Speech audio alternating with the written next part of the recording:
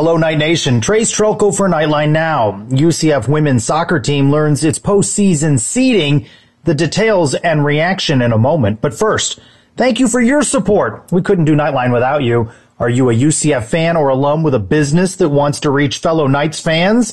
We're looking for you. Tailor your message to passionate UCF fans by advertising on Knightline.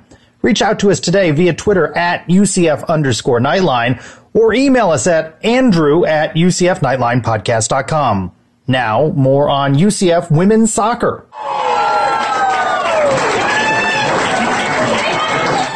The UCF women's soccer team learned it's a two seed in the NCAA tournament, hosting the Pac-12's Washington State Cougars in the first round. Knights head coach Tiffany Roberts Sahaydak What's your reaction to the seeding and who you're going to play in the first? Well, we're thrilled. Like number two seed, um, you know, this team they, they deserve that. So we're really proud of them and uh, really excited to host this first match. Um, I am, uh, you know, Washington State. I mean, they are a good team. They beat UCLA this year, um, so this will be no easy road. The Knights, ranked seventh and eighth in the two major women's soccer polls, remain on a mission. UCF, the Americans' regular season champs, lost the conference turning to the Cows on penalty kicks.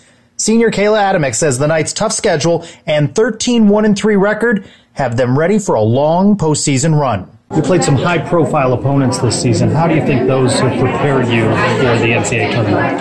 I think it gave us a lot of confidence coming into this tournament. I believe that this team can be any team uh, in the tournament. We just got to give our all. Can the team win a national championship? Absolutely. Um, there's something special about this team that I haven't really felt in the past few years, and I really think that this leadership and uh, the commitment to this team and everyone is focused on this goal. So, yeah, I think think we can win a championship. Now that's confidence. Coach agrees. Absolutely. I have no doubt that this team can win a national championship. I mean, I think, you know, when we're at our best and uh, the team's clicking like it has been, um, they know, I mean, we, we beat North Carolina. They know that we have had moments where we can be on fire. So I think as long as we're doing our job and we're at our best and, you know, competing and fighting the way that they know how to, then I think we have a really good shot. Cheer on the Knights. Saturday, November 11th, first kick at the UCF Soccer Complex at 7 p.m. Knightline will have it covered. Reaction on Sunday's all new episode, our 130th. Like us on Facebook and follow us on Twitter at UCF underscore Knightline. Trace Trylko, Knightline Now.